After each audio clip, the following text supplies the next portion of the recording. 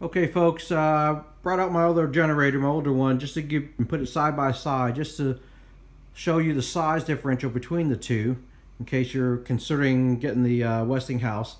Uh, my older Coleman PowerMate 6250, this one is 25 inches wide, 20 inches deep, and 24 inches in height.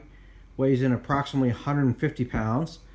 The Westinghouse is 34 inches wide, it is 30 inches deep and it is 33 and a half inches in height.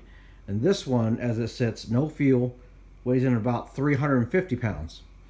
Uh, when I ordered it from Lowe's, I had uh, two options.